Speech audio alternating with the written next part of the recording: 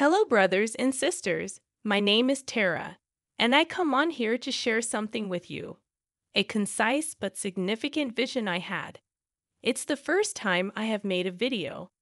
I will try to explain what I saw the best I can. But first, I want to thank all our subscribers for the love you always give us. You are unique to us, and our heavenly family loves you very much. The Lord authorized me to share this vision to encourage the children. It's a private thing, but it's been a long since He shared this vision with me while I prayed before I went to sleep. I don't remember the date, but it was at the end of 2017 or the beginning of 2018. First, I saw the Father, the Son, and the Holy Spirit in a vision. I did not see their faces, but I knew who they were.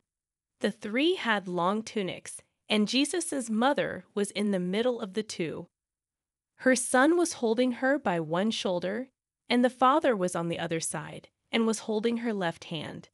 It was a rapid vision, but I could feel how they were full of happiness, love, and peace, wildly smiling and kind. The father's voice is gentle, peaceful, and style.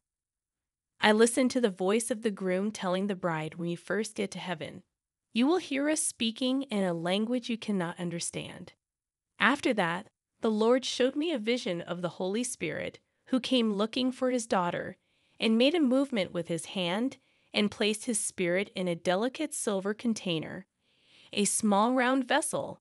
The color was close to the metal color, and she closed that container as if she screwed the lid on the top and put it in the pocket of her tunic, and began to ascend with the movements of his legs pushing upwards like the movement that fishes make in the sea.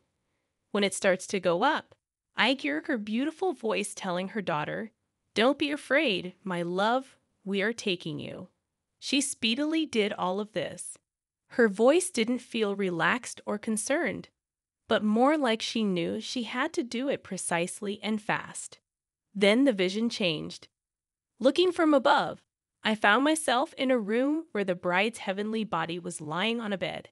The father took the recipient with the bride's spirit and opened it, grabbed the soul with his hands, and start making like surgery, but not an earthly surgery.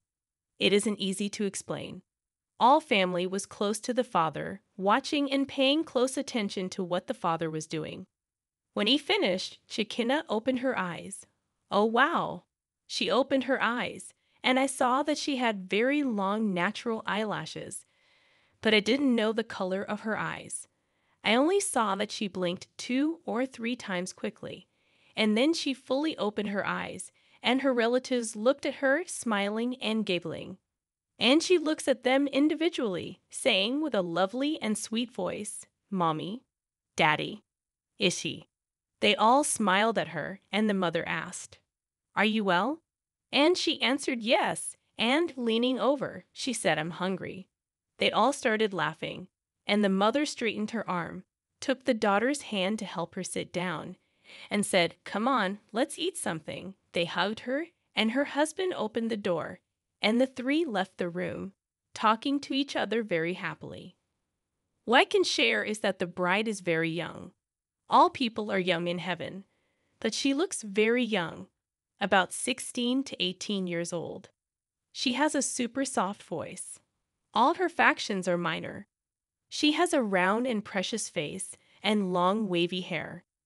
She is adorable. I fall in love with her personality and the way she talks, and she is easy to love, with a pure heart. Well, brothers and sisters, that's all.